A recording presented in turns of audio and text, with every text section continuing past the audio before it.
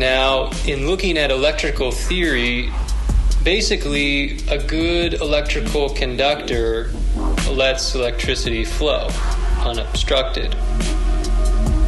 If we consider the human body as electric, which it is, then we can begin to look at our spiritual health in terms of good electric potential or bad electric potential.